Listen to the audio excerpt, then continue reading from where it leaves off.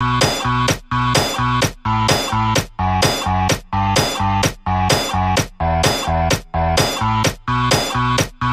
they tend to mate in densely wooded... Where are you? Stop following us!